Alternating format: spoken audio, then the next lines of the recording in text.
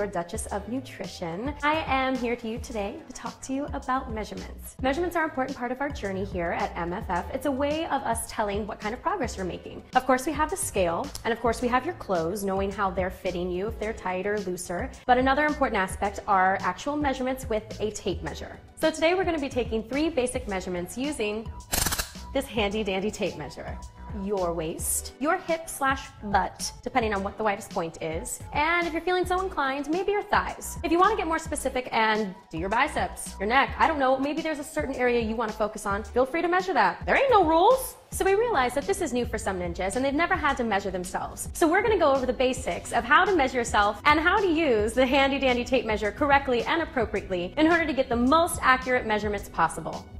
Broken. Here is your handy dandy tape measure. Let's talk about how we use it. It should be facing with the red dot up. Then we'll grab the red stick. We pull the red stick and the tape measure will go around whatever part of the body we are measuring. We insert the stick into the hole. Perfect fit. And then of course, we want to make it nice and tight.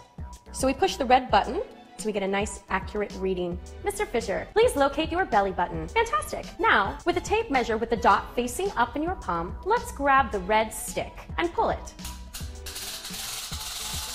Beautiful. Now let's put the tape measure around your stomach, inserting the stick into the hole.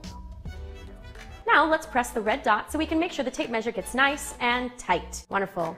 Now, before we write down that number, he's going to look in the mirror to make sure that it's nice and even in the front and all the way around the back. It's parallel completely to the ground. In a perfect world, this will be done first thing in the morning before you've eaten breakfast in your underwear.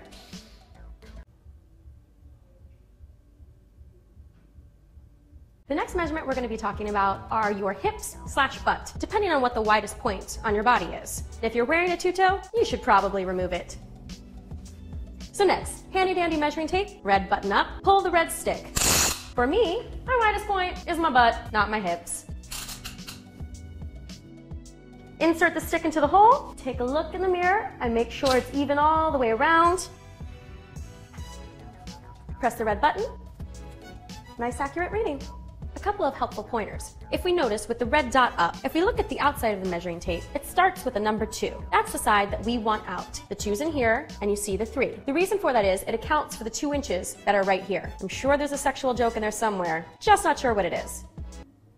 So let's recap everything that we learned today. When we take measurements, it should be first thing in the morning, before we've eaten, and after we've gone to the bathroom. Hopefully you're naked. And if you're not naked, your undies would probably be best. Do it in front of a mirror. When you're doing your waist, make sure it's right at your belly button. If it's your hips or your butt, make sure you're going for the widest point. It just depends on your body type. We also want to make sure that we do this a few days in a row in order to make sure that we get a nice accurate measurement. So do it about three days and then take the average of the measurements that you get for your waist and your hips. Of course, depending on your journey, if you want to get more specific and take more measurements, feel free. You do you, Ninja.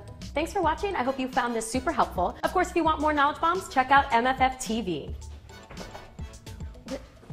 Mark, what are you doing? That's not this video.